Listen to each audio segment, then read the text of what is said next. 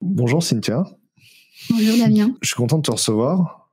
Euh, parce qu'en fait, ça fait longtemps qu'on se connaît. En plus, on s'est rencontrés dans la, dans, plutôt dans le milieu perso à la base. Ouais, c'est vrai, ouais. Et je sais pas du tout ce que tu fais dans ta vie tech, etc. on n'en a jamais parlé. Ça, on, a, en vrai, on n'a jamais de conversation Non, tech, on n'a jamais parlé de pro. Non, pourtant on a échangé hein, autour d'une bière, d'un Welsh, Ouais, euh, c'est ça. mais jamais de ça. Ben, c'est ça. C'est les, euh, c'est la vie au Switch. On parle pas de bureau au Switch a Non. priori. C'est ça. C'est la règle. Et en vrai, du coup, t'as pas une carrière euh, forcément typique. Et je suis content qu'on puisse prendre le temps. Et je suis sûr que ton parcours de carrière, il peut inspirer plein de gens. C'est pour ça qu'on enregistre aujourd'hui. Bon, j'espère, ouais. C'est cool. Ouais, c'est cool. Euh, c'est quoi un dev en 2021 d'après toi, Cynthia? Alors, en dev en 2021, bon, j'ai pas beaucoup de recul, mais pour moi, un dev en 2021, c'est euh, une personne euh, qui va qui a la chance en fait d'avoir un métier qui est totalement transversal en fait, à travers tous les secteurs. C'est-à-dire Mhm. que euh, c'est quasiment un des seuls métiers où tu vas pouvoir intervenir dans le monde du, de, de la santé, le monde du retail, tous les mondes euh, confondus en fait. Et Mhm. euh, du coup, c'est vraiment un métier transversal et en plus un métier où euh, on doit avoir maintenant en fait une grande ouverture parce que euh, c'est primordial de travailler en équipe et il n'y a plus trop, je pense, en fait, euh, ce truc euh, du, du dev qui travaille euh, tout seul dans son coin, derrière un ordinateur, un écran noir et tout. Et maintenant, en fait, on travaille vraiment en collaboration entre back, front, designer et, et voilà. Et c'est ça pour moi un développeur en 2021. Donc, le, ce qu'il y a de bien dans le métier de développeur en 2021, c'est de pouvoir s'intéresser au métier des autres, les- Ouais, tout tous les fait, domaines ouais. d'application, toutes les industries On a la différentes. chance de, de pouvoir se, se plonger dans différents métiers, de voir les problématiques, de les aider à, à les résoudre et, euh, et d'apporter euh, la meilleure solution possible en fait. Et donc, du coup, c'est aussi pour ça, notre métier il demande un champ de compétences qui est très large parce que tu dois euh, définir les spécifications, faire les, les développements, ça, les ouais. mettre en production. Et c'est ça aussi que tu décris, le fait d'avoir un métier transversal parce qu'on on agit de bout en bout sur un projet. Ouais, tout à fait. Ouais. Ça, c'est le. Est-ce que c'est nécessaire à tous les développeurs ou j'ai l'impression plutôt que nos- notre métier était très segmenté. C'est-à-dire pour faire un logiciel, il y a plein de compétences différentes et donc des gens avec des compétences différentes. Ouais, c'est sûr. Dans ta vision du, du métier de développeur, c'est plus la capacité à, à faire le projet de bout en bout et on doit être assez agile, assez adaptable pour. euh, Ouais, c'est ça, ouais, c'est ça. Et puis en plus, on peut se, on se, à chaque projet, en fait, en agence web, on fait beaucoup de projets différents. Et à chaque projet, en fait, on se, on, apprend de nouvelles règles métiers qui sont spécifiques, en fait, euh, aux clients. Et, et ça, c'est, une chance parce qu'on apprend, en fait, tous les jours. Tous les jours des nouvelles choses. Du coup, aujourd'hui, c'est quoi ton métier? C'est quoi ton poste? Où est-ce que tu travailles? Alors moi, je travaille chez Teammate, qui est une Mhm. agence web euh, sur l'île. Et je suis euh, front-end développeuse Ouais. et aussi lead développeuse. Moi, j'ai toujours identifié qu'il y avait des développeurs mobiles chez Teammate aussi. Ouais, il y a des développeurs mobiles, c'est vrai. C'est euh, un peu plus qu'une agence web, non? C'est ouais, effectivement. C'est une agence web au sens large. Donc effectivement, une, une agence euh, web app. Ouais, bah, Bah, C'est-à-dire qu'au final, vous prenez des projets euh, pour vos clients. Parce que vous allez forcément avoir des clients qui viennent chez vous. L'expérience client, c'est d'aller chez Teammate pour faire des applications. ouais, pas ça. ouais. euh, vous n'avez pas forcément envoyé des gens en régie chez le client. Non, ja- jamais en fait. Le client vient chez nous en fait avec euh, son, son idée, son projet, et en fait on l'accompagne dans la conception, dans dans, dans le fait de, de de définir la V1, la V2, la MVP, et on, l'accompagne comme ça pour euh, vraiment lui proposer la meilleure solution pour son besoin, pour son problème, et euh, que ce soit euh, une, une application ou un site web effectivement, Ouais, ça, qu'à la fin, ça peut être une appli, une appli mobile, un site web, peu importe. peu importe, ouais. Et le client, c'est pas forcément en arrivant, il sait qu'il a un projet, des utilisateurs, Ouais, c'est ça. et vous allez construire avec lui. Ouais, tout à fait. Et euh, du coup, tout ce métier-là, toi, tu as appris tout ça, de d'aller voir le client, de comprendre tout ça. Tu l'as appris chez Teammate ou tu l'as appris en formation ou tu l'as appris dans une Euh, expérience J'ai avant appris euh, chez Teammate. C'est ça. C'est quoi ton parcours de formation? En fait, euh, avant, j'étais infirmière de bloc opératoire. Mhm. Donc, euh, tout simplement, euh, j'a- j'adorais mon boulot. Très technique, euh, euh, avec beaucoup de, de connaissances. euh, J'adorais vraiment mon boulot. Et en fait, euh, un jour, j'ai rencontré quelqu'un qui, euh, qui codait, un informaticien. Et je voyais Mhm. sur son euh, terminal en train d'écrire du code et tout. euh, ça m'a un peu euh, éveillé ma curiosité. Et je dis, ah, bah, tu veux pas me montrer et tout. Et il m'a montré euh, tout bêtement euh, CLI, tu sais, pour se balader dans son, son Finder, les CD, les LS, tout ça. Ça m'a rendu dingue, quoi. Je suis, ah, vas-y, montre-moi en plus, plus, plus, plus. Et voilà, il a fini par me montrer du React Native. Donc j'ai commencé avec du React Native toute seule à apprendre mhm. avec la doc.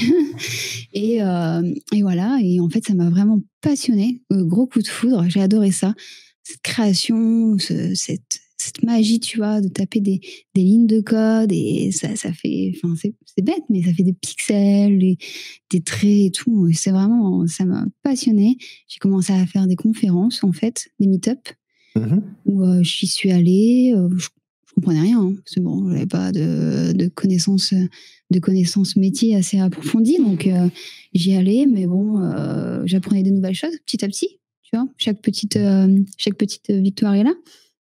J'ai rencontré pas mal de gens qui qui m'ont beaucoup encouragé. C'était très bienveillant. On me disait bah vas-y, il faut que tu y ailles, il faut que tu te reconvertis et tout. Moi, je pensais pas vraiment encore. Pour l'instant, c'était vraiment qu'une passion, quoi. Mmh et puis, euh, de rencontre en rencontre, tout simplement, j'ai, euh, je suis tombée sur euh, l'ancien CTO de Teammate. Thomas? Oui, Thomas. qui, si vous voulez chercher sur LinkedIn, c'est Thomas Blumenfield. Je l'ai bien prononcé, tu crois C'est ça, ouais, je pense. Et du coup, on allait boire une bière ensemble. Et je lui ai raconté et tout. Et il m'a dit, bah écoute, c'est simple. nous, on a, un, on a un développeur chez nous qui était pilote d'avion avant et qui a fait une reconversion et tout, euh, je pense que ça peut être intéressant pour toi et tout. Je vais t'arranger un entretien avec lui et puis voilà. Et là j'y vais et ok, bah il était là effectivement, euh, le, pilote de, l'ancien pilote de ligne Henri et il il me, il me,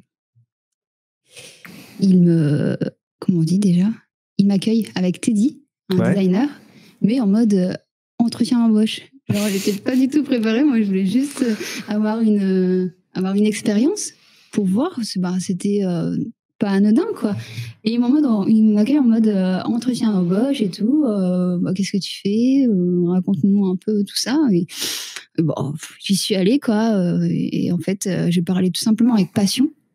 Mm-hmm. Et parce que j'étais carrément emballée, je leur ai montré que j'avais fait un bot Telegram sur les crypto-monnaies, tout ça. Et euh, j'étais tellement emballée qu'à la fin, le soir même, ils m'ont proposé un contrat. Et ça s'est fait tellement mm. euh, naturellement que je me suis dit, bah, c'est le destin, quoi. Faut y aller. En vrai, Henri, je vois qui c'est, mais je savais pas qu'il était pilote de ligne avant. Ouais, il a fait, les, études pour. Mais euh, il a fait les études pour, d'accord.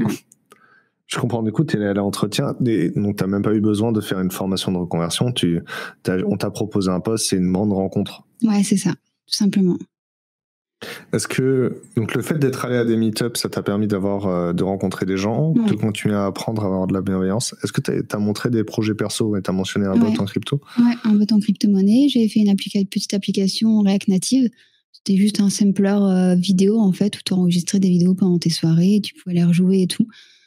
Mais, euh, mais ouais, tout simplement ça. React Native, c'est rigolo quand même. C'est vraiment agréable. Encore plus maintenant qu'avant. Hein. C'est maintenant qu'il y a Expo, tout ça. La couche Expo, c'est vraiment un plaisir. Les, premières fois que tu as fait des React Native, il y avait Expo déjà ou pas? Non. Du coup, en vrai, c'était hardcore de démarrer un projet React Native sans Expo. en fait, c'est parce que tu avais, euh, la partie iOS, en fait. Tu pouvais carrément les coder dans, dans l'iOS et dans l'Android. Et maintenant, tu n'as plus tout ça, en fait. Ouais, tout est dans euh, Expo. Ouais. Ouais, bah, j'imagine que ça doit être bien, parce qu'effectivement, avant, il fallait maîtriser iOS et Android ah, pour arriver à mettre en prod. Des, des erreurs euh, de bundle, tout ça. De Gradle. oui, les erreurs Gradle. Et en plus, c'est vrai que le React Native, il te, met un bel écran rouge dès que tu fais une bêtise. Hein. Ouais, clairement. Et tu sais pas pourquoi. T'as aucune, aucune info. Tu cherches. C'est. Euh, je, me rappelle avoir donné une conférence sur React Native où je disais que si tu fais une, es en train de travailler ton téléphone et que tu me fais une erreur, le rouge il brille au plafond, genre on peut savoir sur un open space qui euh, vient de faire une erreur, quoi. c'est hyper frustrant, euh, les gens qui passent à côté de toi qui disent ah, c'est rouge. Donc le, fait d'avoir fait des projets perso et le fait d'aller dans des meet pour apprendre, ça t'a permis de développer la considération suffisante pour qu'ils te proposent un poste. Ouais. Est-ce que tu penses que tu aurais pu trouver si tu avais cherché activement et sérieusement un poste, est-ce que tu avais déjà décidé de prendre un poste dans le dev avant qu'ils t'en proposent un ou pas? Euh, Oui, j'avais commencé en fait à vraiment à entrevoir la chose. Et donc, j'avais rencontré une autre boîte euh, sur, euh, sur sur Euratech aussi, mais pareil, qui, c'est pas moi qui, était, qui, avait, qui avait été vers eux, en fait, c'est eux qui, étaient, qui m'ont envoyé un message sur Twitter. Et du coup, j'y étais allée et tout, à la cool, parce que moi, j'y connaissais encore rien en entretien d'embauche euh, tech. Et, euh, et ils m'avaient pas donné de réponse, en fait. Et ce qui est marrant, c'est que du coup, mon contrat, il a été proposé euh, le soir au Switch. Ouais. Et euh, le même soir, euh, ces personnes-là, en fait, m'ont envoyé un mail en me disant Ah, on va te faire une proposition. Est-ce que tu Tout ça, c'est au Switch. ah, ok. Alors, il y a, y a deux choses qui sont intéressantes. La première, du coup, c'est que tu n'avais pas forcément fait de CV. Non. On n'a pas ah. forcément besoin de ça. J'ai même pas de profil LinkedIn. Et le fait que tu sois allé à la cool pour, euh, pour détendre, ça, fait, ça, en fait, ça, ça donne une impression de confiance en soi aussi. Ouais, c'est sûr. mais c'est juste que j'avais pas d'expérience. Donc, euh, je me disais, au final, toute expérience, c'est bonne à prendre. Ça va me faire grandir, ça va me permettre de construire aussi. Donc, euh, vaut mieux y aller, même si je sais pas à quoi m'attendre, plutôt que de pas y aller et de m'imaginer des trucs, quoi. Tu, tu m'as pas parlé de syndrome de l'imposteur en off avant J'ai un gros syndrome de l'imposteur. Mais et du coup, en fait, il s'est pas du tout exprimé dans ces entretiens-là. Bah non, pas encore en fait mon syndrome de l'imposteur, il est arrivé un peu plus tard en fait, parce que là, au final, euh, j'étais pas, euh, j'avais pas d'expérience. Je faisais pas semblant d'avoir de l'expérience. J'avais pas d'expérience, c'est tout. Mm-hmm. J'avais fait des apps et tout, mais euh, mais moi, ça arrivait un peu plus tard le syndrome de l'imposteur. Alors qu'est-ce qui le déclenche? Bah, c'est le fait effectivement. c'est le un peu plus tard effectivement quand j'ai commencé à rencontrer d'autres devs et tout et que j'étais une dev là parce que j'avais un contrat de travail en tant que dev et euh, c'était le fait d'être face à des gens qui, qui sont très sûrs d'eux, qui, qui, qui, savent euh, exactement euh, quelle technologie est bonne, quelle technologie est, beaucoup moins bonne. Et, et ça, c'était difficile de se retrouver face à des gens tellement sûrs de soi, en fait. Et des fois, c'était bête, mais il y a des trucs que je savais pas, je connaissais pas, et je n'osais pas poser des questions parce que je me suis dit si je pose des questions, ils vont me prendre pour une teubée, tu vois. Donc je faisais oui, oui. Et, euh, et voilà, et c'était dur ça en fait. Alors que mmh. finalement, en fait, ça a relativisé parce qu'on est tous l'idiot de quelqu'un en fait. Et personne n'a la connaissance euh, absolue et poser des questions, c'est pas grave quoi. Mais ça m'était arrivé de poser des questions et tout, et qu'on me réponde un peu non, ouais, tu connais pas ça, euh, c'est la base. Ben non, je connais pas. C'est tout quoi. Parce que j'imagine qu'il y a. Ouais, typiquement. En plus, ça va vite de mettre en échec un junior. Tu sais, même euh, quand j'étais en stage, il y avait des gens qui venaient d'école d'ingé, tu vois. Mm. Et euh, euh, bah, tu sais, parce que c'est une liste chaînée, tu peux vite faire le malin. c'est pas très intelligent. Ouais, c'est vrai. Il y, a des il y a des choses, effectivement, des concepts abstraits qui sont pas indispensables pour coder. Les listes chaînées, c'est un très bon exemple. Hein. Je pense que c'est tout le monde peut vivre sans savoir comment ça fonctionne. Est-ce mhm. que c'est un de ce genre de sujet-là, c'est un bon exemple pour toi? Ouais, ouais, totalement, ouais. Il y a des concepts de programmation objet, par exemple, aussi, qui sont pas forcément acquis. Ouais, c'est ça, ouais. Puis des fois, il y a des, euh, des, choses que tu connais, mais tu as appris sous forme, de, euh, sous forme vulgarisée, tout simplement. Et du coup, tu, on, des fois, on sort des, des, noms techniques et tout. Au final, tu connais ce que c'est derrière, en fait. Mhm. C'est juste que tu connais pas le mot euh, technique qui va avec. Tu as des connaissances pratiques et il y a des connaissances théoriques. Oui, tout à fait. Et donc, les, si on commence par les connaissances théoriques, forcément, tu n'as pas forcément les bons éléments de langage pour la conversation. Ouais. Mais du coup, tu as pu les apprendre après ou Ouais, bah ouais bah après, euh, ce, que je, ce que je faisais aussi, euh, c'est que quand je connaissais pas quelque chose et tout, bah, je prenais discrètement mon téléphone et je notais à regarder plus tard, tu sais. Et du coup, ça, ça, ça, ça m'aidait pas mal, ouais. Alors, tu, tu, en vrai, il y a plein de gens qui font ça dans plein de métiers. J'ai eu une collègue, elle s'appelait euh, Chloé, et elle est arrivée euh, dans, dans, la, dans l'agence où je bossais à l'époque pour faire de la gestion de projet de la recette. Et elle avait un carnet de définition en mode, tu sais, calepin de, calepin de définition, quoi. Et elle, ah, ok. Et elle me demandait les définitions, elle prenait les définitions, elle les repassait. Ouais. Je, je pense qu'en vrai, il y a plein de métiers où les gens font ah, ça. Bah, je pense, oui. Si demain euh, je prends un métier qui est complètement dans mon scope de compétences, je pense que c'est la première chose que je fais. Je refais les fiches. Ah ouais. c'était ça là. C'était ça.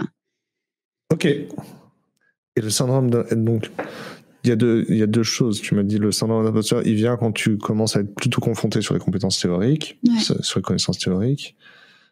Le fait que les gens soient très sûrs d'eux quand ils s'expriment aussi, est-ce que tu as l'impression que tu étais moins considéré dans les conversations techniques? Je sais pas trop. Euh, je sais pas.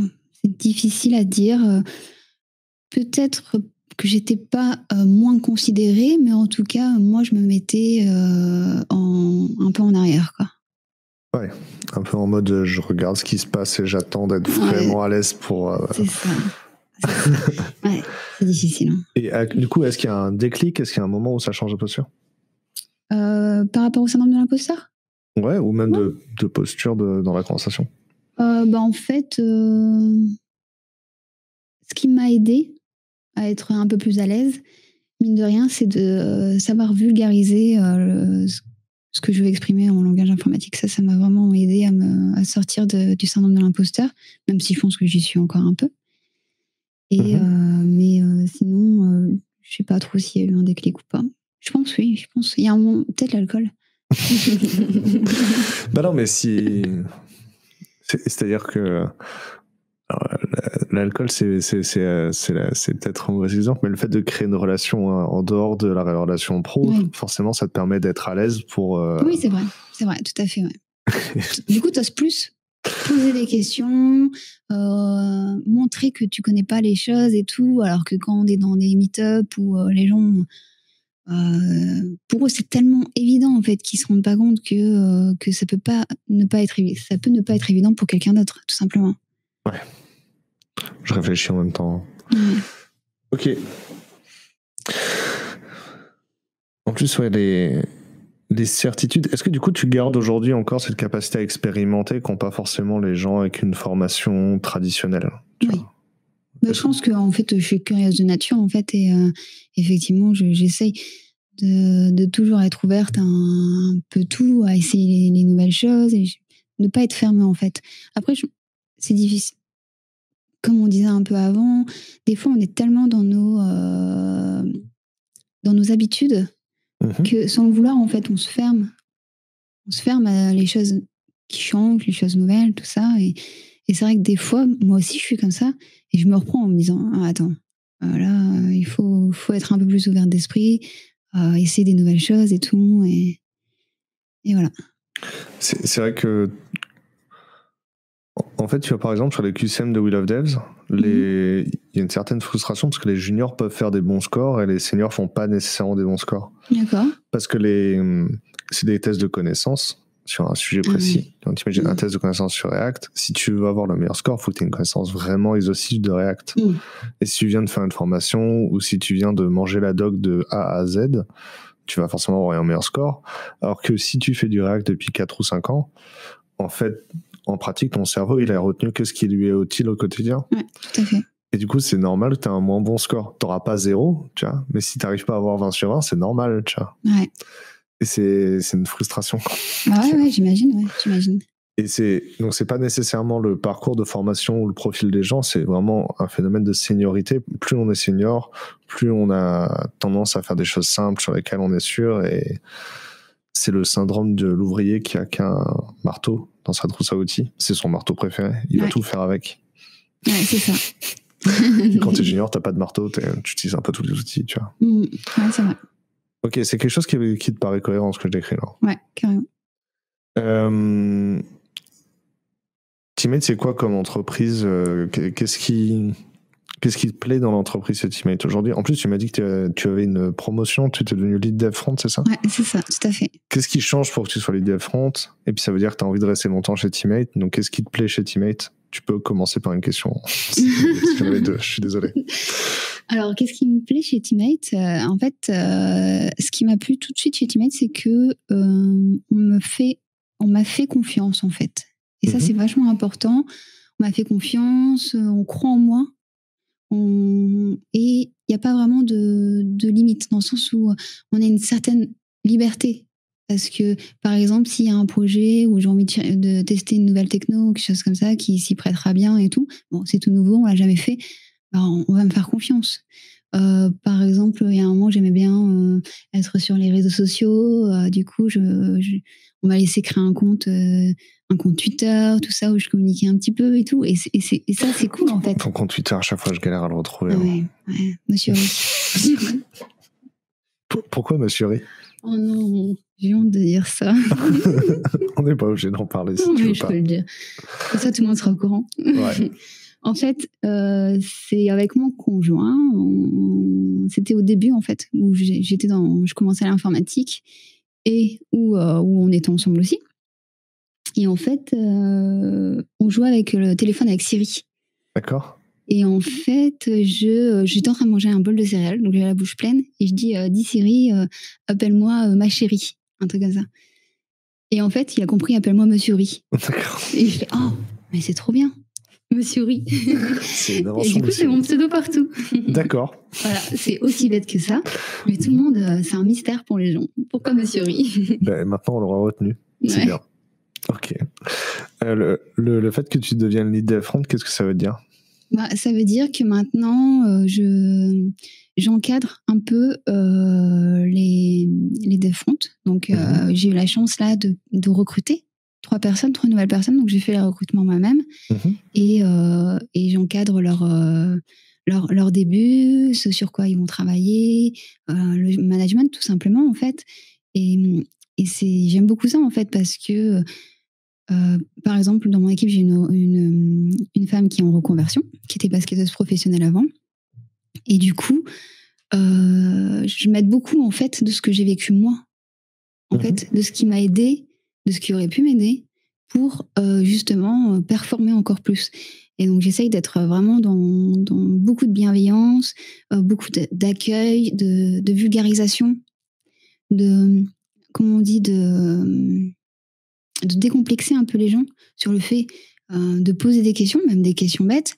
Euh, des fois, si j'explique quelque chose, euh, j'apprécie en fait qu'on me dise ben non, là j'ai pas compris ça, réexplique-moi. Moi-même je le fais. Hein. Je fais ben ça, réexplique-moi, ré- réexplique-le-moi autrement parce que j'ai pas compris là.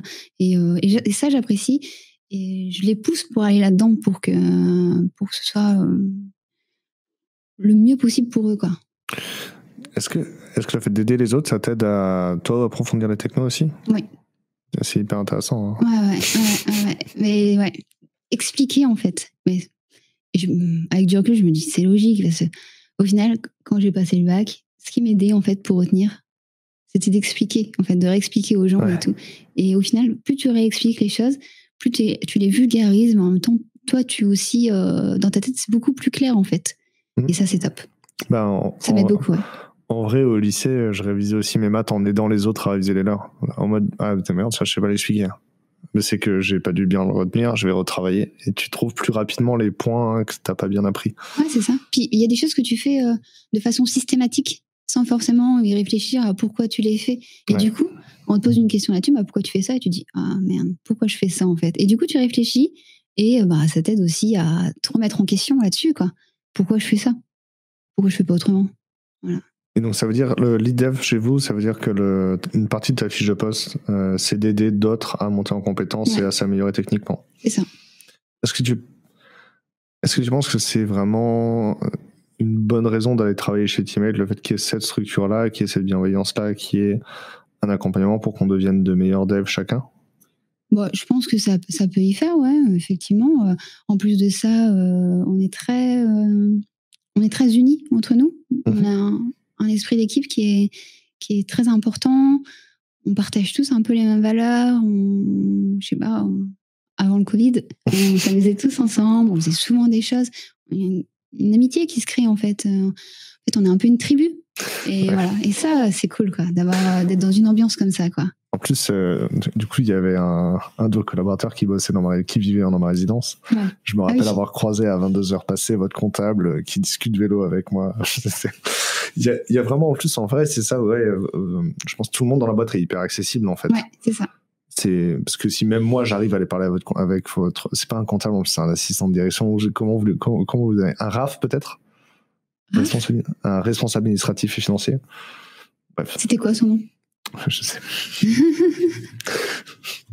Donc, ça doit être la personne qui fait les payes, etc. Et c'est la personne qui doit s'occuper des factures, etc. C'est ça un RAF au final dans, ouais. dans une entreprise. Il fait les RH et la facture et la compta. euh, ah, c'est une personne qui, qui gère tout. Attends, c'est pas le sujet. Et évidemment, du coup, tout le monde est hyper accessible, effectivement, et vous créez du lien. Et créer du lien, c'est important pour qu'on puisse se dire des, choses Quand tu as, un groupe où les gens créent du lien euh, de manière efficace, ben, c'est effectivement plus facile après de dire quand tu sais pas ou de demander de l'aide. Ouais, c'est ça. C'est un, un, cercle vertueux finalement parce que ben, euh, nous, ça, nous ça, ça pousse l'entreprise à, aller plus haut et par, les, du coup, les développeurs ont envie de se donner plus et euh, ils vont prendre plus de plaisir dans ce qu'ils vont faire aussi. Et mhm. ça, c'est super important en fait. Et du coup, tu, tu, travailles avec beaucoup de clients, donc tu vois des entreprises qui ont des fonctionnements différents? Euh, Ouais. On travaille avec des, associations, des grosses boîtes, des startups, on travaille avec un peu tout, effectivement. Est-ce qu'il y a d'autres types de boîtes où tu aimerais bosser? Bah, en fait, je me dis, si un jour euh, je venais quitter euh, l'agence web, je pense que je travaillerais effectivement sur, plutôt sur du produit. Mmh du produit où je pourrais vraiment pousser à fond le, le projet, les tests, euh, vraiment faire un code euh, super clean euh, comme, comme j'aime et tout, tout contrôler. Et, et ce serait plutôt là-dedans, quoi, effectivement. Genre de projet avec un budget limité, quoi. Ouais. en vrai, ça existe. Hein. Il y a des entreprises, j'en ai vu. Hein. Mm. On a dépassé le budget de 1 million. Ouais, mais c'est pas grave. Ok. nous, on était prestataires, donc on était contents. Bah oui, dans ces cas-là, on est content, ouais. euh, je réfléchis. Et est-ce que tu, est-ce que tu pourrais faire d'autres métiers plus tard? Bah, je sais pas en fait. Euh, je suis pas, je suis pas fermée parce que avant j'étais infirmière, donc euh, je serais mal mhm. placée pour dire que euh, on ne sait pas ce qu'on va, ce qu'on va être plus tard. je, suis ah ouverte à tout. On verra bien où ça Justement, qu'est-ce qui pourrait t'intéresser? Parce que, admettons, dans 30 ans, 40 ans, 50 ans, tu travailles encore, tu n'as plus envie de faire du dev front, tu as envie d'aller voir d'autres choses. Mm. Qu'est-ce qui attise ta curiosité? Est-ce que c'est peut-être un autre rôle dans le monde de l'IT qui peut t'intéresser? Ouais, peut-être. Ouais.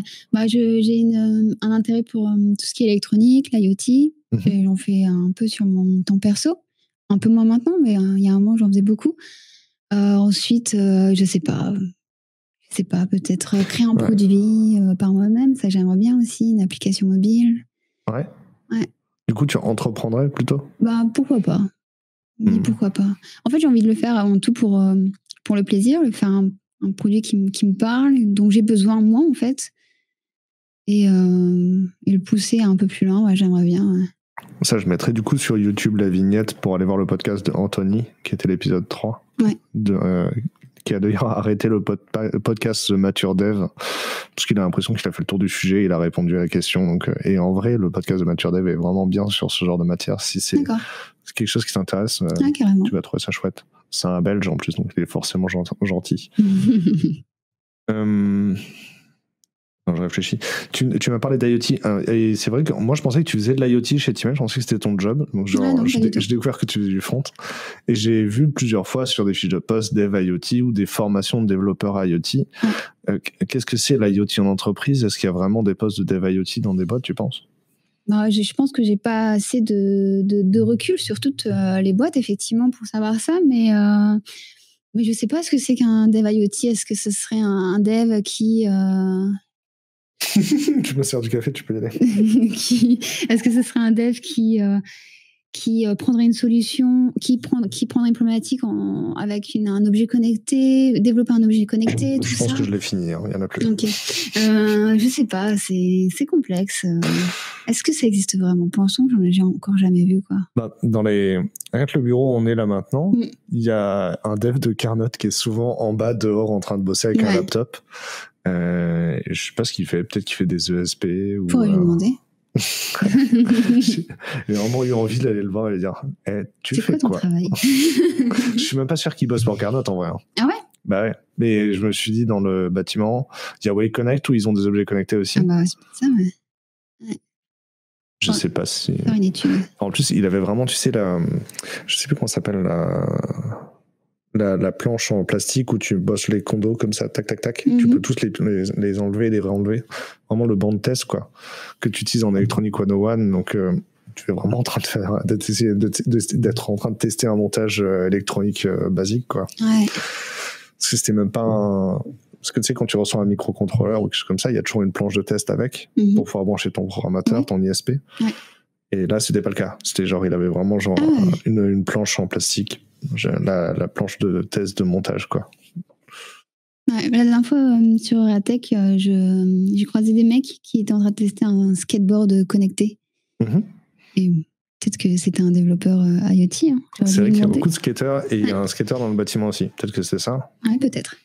J'ai déjà Mais il était connecté avec une application et tout, donc je sais pas trop à quoi ça servait, mais Mais j'ai déjà mis des capteurs dans un skateboard. Tu peux mesurer l'accéléromètre, Mm. etc., le gyroscope, et essayer de reconnaître la ficture. Mais Mm. j'étais impressionné. Un skateboard, ça prend plus. Nous, on avait un 2G, 8G en accéléromètre. Un skateboard, ça prend 15 à 20 G sur la figure de base qui est le holly. ah ouais? Donc, du coup, ça demande des capteurs hyper complexes. Là, à l'époque, on avait regardé un autre objet qui avait des capteurs. C'était la batte de baseball. Et elle avait un capteur oui. 200G. Ouais. Mais euh, on fait, on, le matériel subit des contraintes assez incroyables. J'étais très surpris. Bref, qu'est-ce que c'est le futur de l'IT Qu'est-ce qui va changer dans l'IT Est-ce que c'est des technos, des outils, des entreprises euh, qui n'existent pas encore, qui vont exister? Je sais pas, moi. Hum, Pour moi, c'est surtout humainement où ça va changer. Mhm. Je pense qu'il y aura vraiment de, de plus en plus de, de- de femmes dans le dans, dans, dans l'IT et je, je l'espère. Mhm. Euh, parce que euh, je pense qu'il commence à avoir une question en fait avec euh, les stéréotypes un peu du dev. Le dev barbu, avec les cheveux longs. Tu sais que je suis obligé de la garder les cheveux longs. Non mais en fait, tu sais, c'est arrivé une fois que j'avais euh, pitché, j'avais mis une chemise blanche, etc. Parce que c'était une grande agence Ouais. de communication. euh, On t'a pas reconnu? Et à la fin du pitch, le, le mec me dit Ok, mais Damien, pourquoi tu te lances sur le marché des devs? C'est pas forcément le marché le plus intéressant et tout. J'ai jamais à besoin d'expliquer dans mon pitch pourquoi moi, en tant que développeur, je me lance sur le marché des développeurs. Ah si oui. je me coupe les cheveux et que je mets des chemises blanches, les gens ils comprennent plus et le storytelling Mm. il marche pas. Ah oui, Donc en vrai, euh, je suis condamné à garder ma barbe et mes cheveux longs. Bon. Mais à cause de stéréotypes que j'aimerais bien casser aussi, donc allons-y. Mais je pense que c'est en cours. hein. Je pense que c'est en cours euh, parce que ben, on, ça y- on n'a plus cette, un- cette image-là du dev qui mange des pizzas sur son ordinateur et qui boit du coca. Mhm. C'est l'image que j'avais avant. Est- en- non, mais en plus, c'est hyper réductrice. Mais totalement, totalement. Parce que souvent, ce qui va avec cette image-là, c'est euh, les devs, ils savent pas communiquer, euh, c'est des nerds, Ouais, c'est des geeks, qui disent tout le temps Asocial, total et tout, ouais. ouais, carrément, ouais, tout à fait. Du coup, ça rend un peu le métier beaucoup moins austère en fait. Mhm. Et euh, et il y a aussi, je pense, euh, bah, une grosse augmentation du féminisme en ce moment, ça c'est clair. Mhm. Et euh, je pense que euh, il y a, hum, tu sais, ce- cette impression de d'avoir des métiers d'hommes et des métiers de femmes Mhm. comme on avait avant, en fait, c'est en train totalement de, de, de, de se casser parce que même euh, du côté euh, de, de- des infirmières, en fait, effectivement, on dit toujours les infirmières, mais tu as vraiment de plus en plus d'hommes, hein, de plus en plus d'hommes. Même chez les sages-femmes, les mailloticiens. Ouais, ouais, tout à fait, ouais. Et euh, c'est en train de se briser, en fait, ça. Et ça, c'est cool. Plus trop limite. Pas encore tout à fait fait. Il y a encore un gros travail, hein, ça, c'est, ça, c'est clair. hein. Mais, euh, mais c'est en cours, ouais. Qu'est-ce que. En fait, quand, euh, quand j'ai les conversations autour de, de la représentativité de la femme dans la, dans la tech ou des femmes de la tech, euh, ou voir d'autres sujets dans la diversité, il y a toujours euh, plusieurs étages de la fusée. Tu sais, il y a à l'école, Mm. euh, au lycée, en formation, etc., en entreprise. Qu'est-ce que tu voudrais changer pour améliorer la représentation des femmes dans la tech? C'est un- c'est complexe parce qu'il n'y a, y a pas de solution euh, toute faite en fait. Mais euh, qu'est-ce que je voudrais changer? Qu'est-ce qu'on peut faire pour agir? Être plus ouvert, moins austère encore. Euh, je dirais euh, encourager aussi euh, les femmes. J'ai vu qu'il y avait des, des meet-up qui se faisaient où il y avait que des femmes qui intervenaient et tout. Ça c'est très bien parce que du coup ça montre aussi qu'il y a beaucoup de femmes. Mm. Et, euh, et ça montre que le, métier est ouvert, on peut s'en sortir. Mais aussi, il faut changer un peu, l'approche en fait euh, euh, qu'on peut avoir envers les femmes développeuses, les développeuses tout simplement. Et, moi, ça m'est arrivé de m'être fait approcher en me disant ah ben on recherche, on recherche une femme et et tu fais du React. Tu fais du React. On fait du React. Nous, on fait du. React, il n'y a pas de femmes et on voudrait avoir. Nous, on l'a fait aussi chez We Love Dev. Enfin, moi, à un moment, j'ai dit, et c'était pas un poste en particulier, j'ai dit, on peut pas juste être 10 hommes, donc il y aura forcément une femme dans les prochains recrutements. Mm. Euh, c'est l'espace qu'on était pied au mur, tu vois. C'est, fallait qu'on fasse quelque chose. Après, pour autant, on n'a pas approché des femmes en disant il faut qu'on recrute une femme, du coup, est-ce que tu veux venir en entretien? Ouais. La discrimination positive, le truc qui est gênant quand on t'approche comme ça, c'est que tu as l'impression qu'on a été réducteur envers tes compétences. Ouais, c'est ça, ouais. C'est ça. C'est d'être euh, le fait d'être euh, d'être approché juste pour ton sexe, c'est pas forcément parce que euh, tu as fait un super projet ou tu as des compétences en React. Et ça, c'est, ça fait mal quand même. Mm. Après, ils auraient vérifié quand même après si tu avais les compétences, je J'espère. ça m'est arrivé effectivement aussi de, de devoir chercher des, euh, des, des, speakers pour un événement, euh, un gros événement tech et d'avoir à approcher, on se dit, parce qu'en fait, ce qui se passe, c'est que comme sur la majorité des événements, les speakers sont tous des hommes, ben en fait, très rapidement, tu trouves que des idées d'hommes à approcher, et quand tu approches des speakers, faut qu'ils aient l'habitude de prendre la parole en public, parce que sinon, ils n'ont pas envie, et ça te mm. prend beaucoup de travail de les, euh, de les aider. Et euh, même en approchant des femmes, du coup, on dit on est prêt à les former, on est prêt à les aider, etc. En approchant des femmes, la majorité nous disait, ben non, moi, j'ai pas l'habitude, j'ai pas envie, c'est un trompe de l'imposteur qui revient à fond. Euh, et euh, c'est hyper compliqué de pas avoir l'argument en mode non, mais nous, on veut faire l'effort pour qu'il y ait plus de femmes dans la tech et c'est compliqué. Qu'est-ce, c'est quoi ta recommandation? Comment on fait? Ouais, bah, si je vais essayer de me mettre dans, dans la posture de ces femmes-là, et effectivement, moi, le truc qui, qui, qui me bloquerait et qui, qui ferait que j'aurais du mal à faire un, une conférence, c'est euh, effectivement si tu es une seule femme et qu'il y a 15 hommes qui passent pendant la conférence, on est d'accord que 16 talks dans une conférence, c'est quand même beaucoup. Mais euh, ça peut être perturbant, surtout que, que le, métier est représenté euh, quasiment intégralement par des hommes pour l'instant. Et que c'est vrai que moi, ce qui me bloquerait, c'est effectivement tous ces, tous ces hommes qui savent exactement euh, ce qui est bon, ce qui est pas bon. Et, et je sais pas, peut-être qu'en tant que femme, on doute plus des choses et. Non, mais après, c'est On met plus en question peut-être et on met plus en question les choses et. Mais il faut imaginer déjà que dans, tout, dans tous, nos, tous nos parcours à tous les deux, tu vois. Comme moi, je suis un homme, dès que j'ai dit que je voulais faire la tech, on m'a dit que c'était une bonne idée, tu vois. Alors toi, à chaque fois que tu as dit que tu voulais être infirmière, on t'a dit que c'était une bonne idée. Bah, on m'a poussé là-dedans. c'est ça. J'ai adoré ça, hein, mais on m'a poussé un peu là-dedans. Et donc, c'est force. C'est évident qu'à la fin, le syndrome de l'imposteur, il est un petit peu plus fort si on te demande de prendre la parole à une conférence tech. Sûr, Mais enfin, faut bien voir que la, la majorité des speakers ont pas attendu d'être des experts pour prendre la parole sur la scène. Je, je prenais la parole alors que j'étais tout jeune, mais je prenais la parole sur des sujets qui étaient un peu nouveaux, tu vois. Donc, on n'avait pas besoin d'une grosse expertise et personne ne peut être avec une expertise, tu vois. Et euh, les hommes attendent, attendent pas d'être seniors pour prendre la parole sur des scènes. C'est, mais c'était pas ça que tu disais non plus. Hein. C'est on a un syndrome d'un peu non mais de manière générale c'est parce que si les speakers que tu vois d'habitude euh, sont des hommes tu te protèges pas de toi en tant que speaker tu te projettes pas de toi en tant que speaker. Ouais, peut-être ouais. C'est vrai qu'il faut inverser vraiment le ratio sinon ça marche pas. Ouais ouais. Ok et comment on fait pour inverser le ratio? Bah En fait, souvent, quand on fait un appel à speaker, on a une line-up de speakers mm. pour montrer euh, qu'on a déjà des speakers stars et maintenant on cherche des speakers euh, crowdsourcés. Quoi. Mm.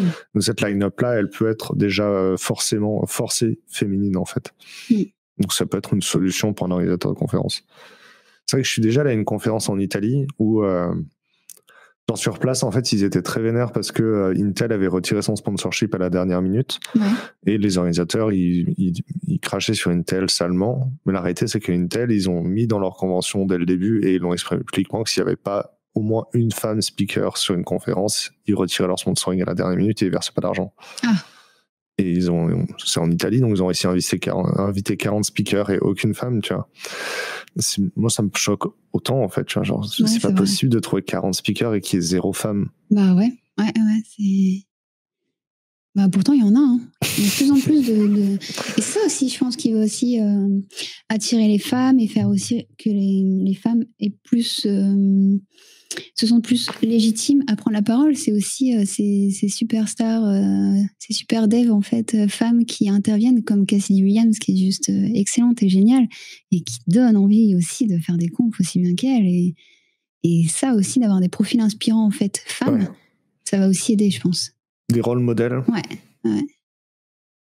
C'est dans l'enseignement, on le retrouve aussi, hein, parce que dans, dans l'enseignement, il y a très peu de femmes qui enseignent la tech, tu vois. Mm. Les, même les safe zones, euh, les, les safe zones où il y a des femmes qui, euh, qui apprennent le, le, la tech, c'est souvent des hommes les mentors. Mais en vrai, le problème, il sera résolu le jour où les femmes seront mentors des hommes, quoi, et pas l'inverse. Ouais, c'est vrai. Faut changer par le haut de la pyramide. Ok. Donc on en réfléchit au sujet ce qui va changer, c'est ça, et ce qui va changer, c'est ça, c'est plus de diversité. Ouais, et puis je pense aussi le nombre de reconversions. Ouais. Je pense que ça, c'est en train de, de, de, bien changer, parce qu'il va en avoir de plus en plus, parce que c'est sociétal maintenant. Plus personne n'a envie de faire euh, le même métier toute sa vie. Mm-hmm. Et en plus, euh, c'est un des seuls métiers qu'on peut faire. Euh, ben, un des seuls métiers, je sais pas. Mais c'est un, un, métier en tout cas qu'on peut faire sans forcément avoir de diplôme. Mhm. ou en faisant des bootcamps ou des choses comme ça. Donc ça, effectivement, ça, ça encourage vachement. Et, euh, et ça, c'est un gros paradoxe en fait, parce que le, monde de la tech, c'est un, il est de plus en plus complexe, parce que tu as de plus en plus de techno, de plus en plus de langage, et de plus en plus complet aussi. Mais il est de plus en plus accessible aussi en fait. Parce que grâce à toutes, euh, à toutes les formations, les bootcamps, euh, les écoles, c'est vrai qu'avant, on disait que, quand j'étais en stage de troisième, par exemple, on disait l'informatique mène à tous les métiers. C'est-à-dire, souvent, les gens se recommençaient dans plein de métiers, mais il fallait quand même avoir un BTS info ou euh, une formation initiale en informatique. Et maintenant, la vérité, c'est qu'aussi tous les métiers mènent à l'informatique. Parce que le meilleur développeur dans une société comptable, ce sera un développeur qui a fait une reconversion après avoir été comptable avant, parce qu'il va comprendre le produit mieux que les autres, etc. Et c'est cette richesse, cette diversité est nécessaire. Que c'est cool. Euh, toi, quand tu as changé de poste dans ta carrière, est-ce que tu as eu. Ouais, quand tu nous l'as raconté, on a l'impression que tu n'avais aucune angoisse, aucune stress. Oui, mais j'étais quand même très angoissée. Mais comme je disais, euh, en fait, pour moi, je ne sais pas si j'étais chanceuse ou pas, mais euh, les choses se sont fait tellement naturellement que j'ai pas eu trop de questions à me poser, en fait. Mhm. Jamais je me suis dit euh, qu'est-ce que je fais, je choisis d'être. En fait, je, me suis simplement laissé laissé porter en fait. Mhm. Et euh, c'est vrai que le fait d'avoir fait plein de rencontres, on m'encourage vachement et tout. C'est vrai que c'est pas facile. Après, j'ai beaucoup douté. Hein. Après, quand j'ai fait ma reconversion, quand j'ai commencé à travailler en tant que dev, j'ai énormément douté. Hein. Et puis en plus, c'est hyper frustrant parce que euh, moi, j'apprenais, je, faisais des nouveaux trucs, ça me paraissait tellement énorme ce que je faisais. Mhm. Et je montrais ça aux gens, je disais, oh, regardez ce que j'ai fait. Et les gens me faisaient, ouais, ouais. et là, c'était très frustrant, ça. Mais c'est en fait le fait d'aller à tous ces meetups, c'est quand même en fait finalement développer un réseau professionnel. Ouais. On le fait aussi dans tous les métiers. Il y a, il y a vraiment il y a beaucoup de développeurs en poste qui ne le font pas de travailler leur réseau professionnel. Ouais, c'est vrai. vrai. mais, toi, tu l'as fait. Et c'est, je l'ai fait avant, avant même d'être dev. c'est ça. Et du coup, tu l'as pas fait. T'as pas forcément eu l'impression de travailler à trouver un poste, mais en vrai, tout ce, toutes les rencontres que tu as faites, c'était développer ton réseau professionnel pour trouver du travail ensuite. Ouais, hein. Je me rendais pas compte, mais c'est ce que je faisais, effectivement. ok, c'est cool. Euh, qu'est-ce qui, qu'est-ce qui te rend heureux? On est, on est en train d'écrire un livre qu'on va appeler euh, We Love Dev the Handbook, d'accord? Ouais. euh, Dans ce livre, si on doit mettre un ingrédient de Cynthia Enaf pour être heureux dans, dans l'IT, qu'est-ce que ça doit être? Ben, Pour moi, ce qui, me, ce qui me rend vraiment heureuse dans, le métier de, dans les métiers de la tech, c'est euh, ma passion en fait, le fait de travailler euh, pour ma passion, de rester curieuse, d'apprendre des nouvelles choses tout le temps en fait. On a la chance en fait d'avoir d'être dans un, dans un métier où il y a tout le temps des nouvelles choses à apprendre, complètement contrairement à infirmière ou infirmière euh, une fois que tu connais tout, hein, tu connais tout, les choses sont jamais réinventées quoi. Donc euh, là, on a vraiment cette chance là et, euh, et moi c'est ce que c'est ce que j'adore apprendre en fait, apprendre, créer, c'est ce que j'adore. Donc toujours continuer à apprendre. Et en plus, il y a des nouvelles techno tout le temps. Ouais. On peut toujours se challenger, toujours sortir de sa zone de confort, se réinventer, et ça, c'est top. Toujours se remettre en question. Ouais. ok, cool. Moi, cet ingrédient me plaît beaucoup aussi. Je, je considère que c'est vraiment un pilier c'est de notre métier à continuer à apprendre tous les jours. Ouais. Donc, c'est très cool. Euh, on a enregistré ce podcast pour faire la promotion de l'enquête.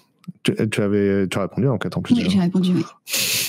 Euh, L'enquête va faire sortir pas mal de choses intéressantes. Il y a déjà plus de 400 répondants. On a besoin, pour écrire le livre à la fin, d'avoir euh, plus de 800 à 1000 répondants. On cherche à avoir 1000 répondants. Ouais. Donc, faut pas hésiter à, partager l'enquête, à relayer l'enquête. Avec plaisir. Et ben, merci beaucoup d'être venu au bureau pour enregistrer. Je suis très content qu'on ait pu prendre ce temps. Merci à toi, Damien. C'était vraiment très cool. C'était cool. N'hésitez pas du coup à vous abonner au podcast, à le partager sur les, euh, sur les réseaux sociaux, à nous retrouver sur YouTube. Sur YouTube, il y a les podcasts qui sont enregistrés en vidéo aussi. On publie le vendredi les podcasts audio et si c'était un podcast vidéo qu'on a publié le mercredi, ben, du coup vous aurez le replay euh, sur le podcast audio le vendredi. Et abonnez-vous à la chaîne YouTube du coup pour avoir euh, les podcasts publiés, les podcasts vidéo publiés le, le mercredi en premier. C'était simple ce que je dis ou pas? Moi, j'ai pas compris, mais ça devait être simple. En gros, si c'est un podcast audio qu'on publie cette semaine-là, il est publié le vendredi sur votre plateforme préférée, Spotify, Apple Podcast, etc. Et il faut vous abonner, laisser un message. Si cette semaine on publie un podcast audio, euh, vidéo, il faut être abonné à la vidéo à YouTube pour l'avoir le mercredi. Là, c'était clair. Là, c'était très clair. Merci beaucoup. À bientôt. Salut.